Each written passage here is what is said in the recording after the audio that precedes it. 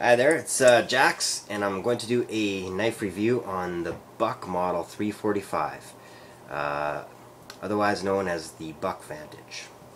This particular buck um, is the uh, one with the 420 high carbon blade steel. Uh, so it's Model 345, it's not the Buck Pro with uh, S30V blade steel. So uh, yeah, so uh, like I said, it had 420 high carbon blade steel, which is Buck's kind of entry level um, steel. It's kind of their budget base steel. Um, and uh, it won't hold an edge as well as uh, some of today's modern super steels, but uh, all in all, it's uh, supposed to be a pretty decent uh, steel. so anyways, um, what we have here is a medium size uh, everyday carrying type of knife. Uh, it is um, roughly uh, maybe just coming in under 8 inches long in its uh, total overall length. Uh, so the handle is about um, 4 and some inches and the uh, blade is three and a half. I don't have the exact uh, measurements, but um, the blade is uh, somewhere about uh, three and a half, with uh, the cutting surface um, a little bit less than three and a half uh, because of the um, the grind and whatnot, the you know ricasso or whatever. so, anyways, um, yeah, this is a drop point knife, as you can see. So, a drop point, of course, starts at the spine at the um, near the hilt area and drops to the point. Uh, it has a full belly, which uh, is referring to the amount of curvature in the blade. And uh, the reason for that, uh, for this format, drop point and uh, the full belly blade, is that uh, it excels at hunting tasks. Um, and in general slicing tasks. Um, specifically skinning uh, animals. Uh, that's where the whole uh, lot of belly comes in uh, really handy is for a hunter. Also around the kitchen, um, preparing food and basic everyday utility stuff such as cutting rope or um, whatever, whatever you're doing, uh, you know, general utility. So uh, this knife here has a what is known, what I would say is a high hollow grind um, blade profile, uh, grind on it, I should say. And so, um, so the uh, hollow grind is fairly high in my estimation. Um, uh, hollow ground means that um, the blade is um, ground with a radius on both sides. So uh, rather than a flat grind where um, the grind is just flat, it's actually concaved in a bit uh, rather than flat. So I, uh, it's whatever. If you know what a hollow grind, blade is, a hollow grind blade um, is really good at slashing. If you see um, straight razors, some uh, straight razors from uh, the olden days where people shaved their face with them would have a hollow grind. Um, it comes to a really thin uh, you can ho hollow grind a blade to a really thin um, thickness and achieve a, uh, a pretty sharp, pretty extraordinarily sharp um, cutting cutting uh, tool. So, anyways, uh, where was I there? Um, yeah, it's a it's a high hollow ground blade, drop point, 420 high carbon blade steel. Maybe the Rockwell scale hardness is somewhere between, I don't know, 55, 57. Don't quote me on this because I don't know for sure, but it's uh, not up there in the 60s or anything. It's uh, somewhere in the mid 50s, I, I, believe, which would mean this is uh, easy to sharpen and um, will hold a satisfactory edge. Um, actually, this blade steel does pretty good for that, I hear, all in all. Uh, anyways, um, Um, where else was I going with this? Um, forget what I was going to say. Yeah, so it's a folding knife. I'll, maybe I'll pick up and remember it. But anyways, so it's a folding knife. And this particular knife has a um, stainless steel clip. Um, the knife itself carries in your pocket tip up and the, a lot of people like that because as you slide it of course from your pocket and open it it is already in the forward position where if the tip uh, pardon me whereas if the clip was over here it would be um, strange you would open the knife and uh, you'd have to uh, open it and then flip it around to get the blade pointing forward. So anyways, as you draw it from your pocket and deploy the blade, it's pointing uh, in front of you already. So that's uh, so it has a two-position pocket clip rather than a four-position clip, meaning that uh, it's a left or right, and uh, you can just uh, undo the Torx screws turn it around and clamp it in and you could have the clip on the left or right hand side uh, in case you were a lefty. Uh, so it uh, has an ambidextrous um, kind of format to it. Also, uh, this knife here uh, comes with a cutout in the blade. Now, what the cutout does, uh, I believe what it does here, and I should also note that this um, piece of zip tie attached to it does not come with a knife. The knife, uh, if you can imagine the blade without this, that's the way it came. This is my uh, homemade uh, Emerson opener um, uh, device here. So as I draw it from my pocket, it catches the interior of my pocket and opens the blade by itself. So anyways, the knife itself does not come with that uh, black piece of metal there.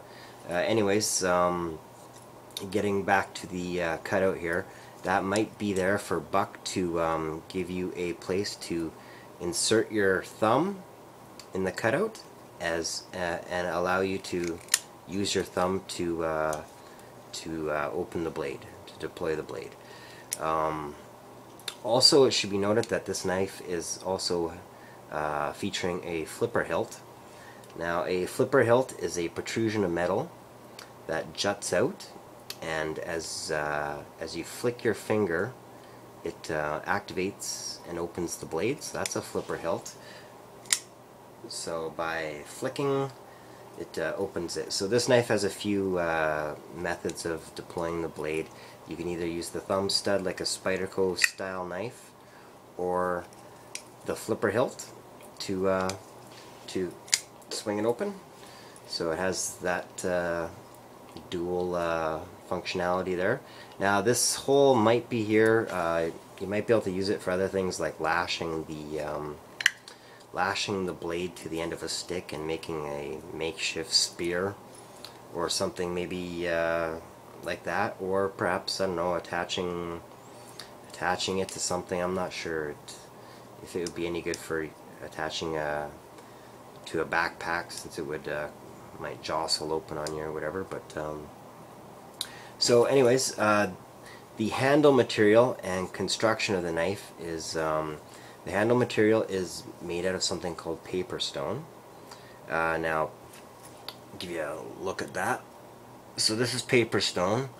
And paper stone is, um, I'm not too 100% uh, sure what paper stone is, but I believe it is some sort of uh, recycled paper material that's been compressed I could be wrong on this, you might want to Google it, but I think it's uh, some sort of uh, paper material that's been compressed under extraordinary or extremely high compression and uh, possibly impregnated with uh, epoxy resins and then compressed to sandwich it into a extremely solid and um, uh, perhaps a layered material.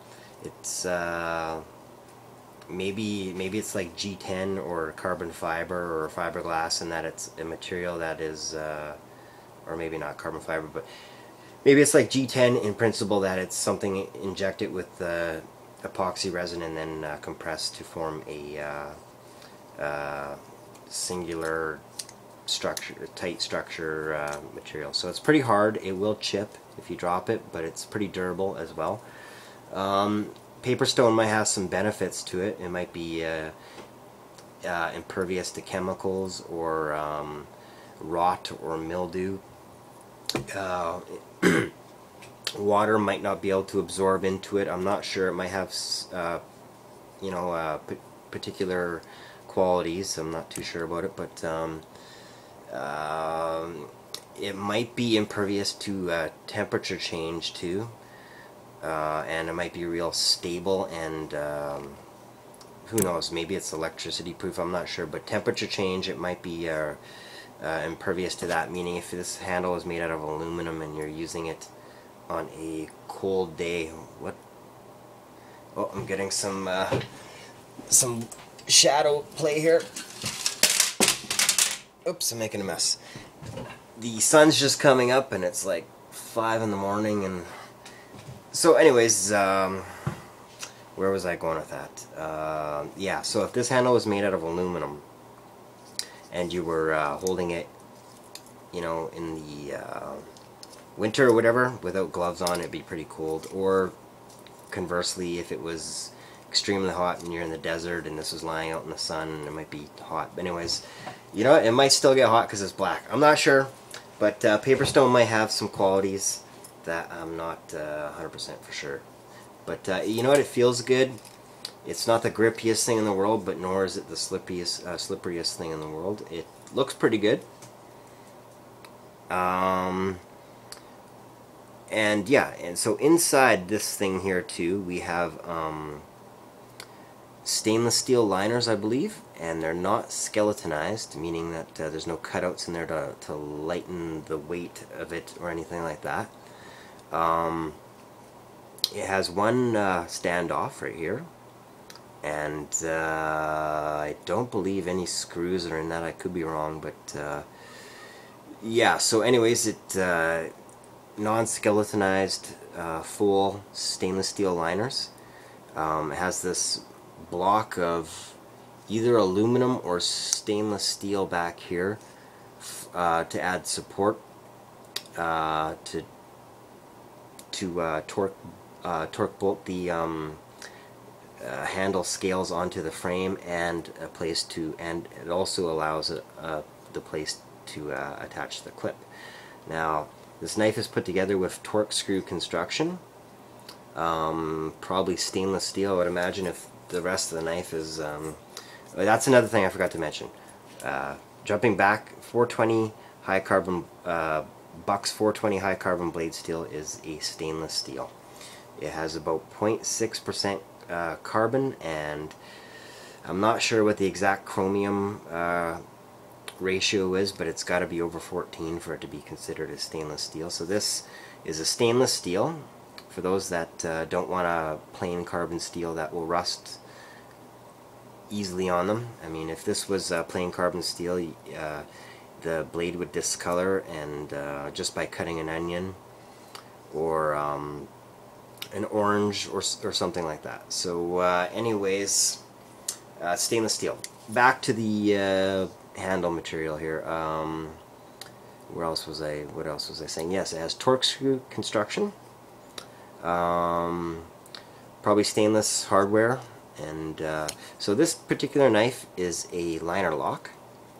The advantage is, so when you open it up, a spring tension piece of the liner will uh, spring and engage the base of the um, uh, the tang. So I don't know if I can catch that, but as watch this piece here.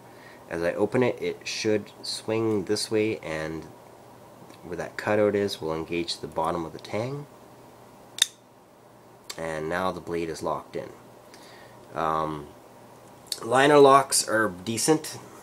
Uh, they're nice because to close the knife now I just pushed back that spring tension thing and clip the blade back in and every time I uh, repeat the process it closes on it or um, or vice versa. Uh, liner locks, I like them. They're handy, they're one-handed. Uh, you can uh, use it one-handed. Um, the liner material is about um, 1 16th of an inch uh, thick. So it's pretty tough, but uh, liner locks, I don't know the actual rating of this lock, but a liner lock can be overcome by forces. Um, so you might not want to be doing, uh, it's not like a fixed blade where you can do uh, a lot of hard work. It is what it is, and it's a folding knife.